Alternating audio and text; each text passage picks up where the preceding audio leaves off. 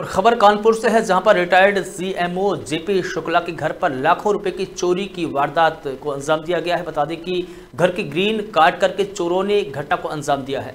घर की अलमारी में रखे लगभग पंद्रह लाख रुपए के सोने के चांदी के जीवर समेत साढ़े चार लाख रुपए की नकदी भी चोरों ने चुरा ली है।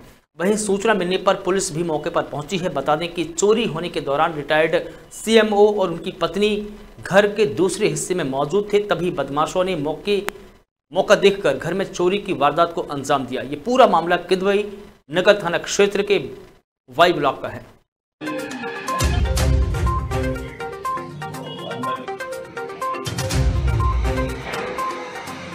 ये बीती रात जो है हमारे घर पे चोरी हुई है। और मैं रात को 12 बजे करीब सोया था बगल के कमरे में।